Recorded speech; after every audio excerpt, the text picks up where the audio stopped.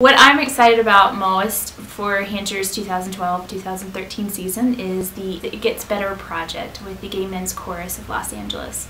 Um, I think this is a very important project. It's getting a great message out to our youth and showing a lot of support to a group of people that don't always get it. Um, so I'm very excited to see what they're bringing and the fact that we get to um, have local members in the show with them is also going to be exciting.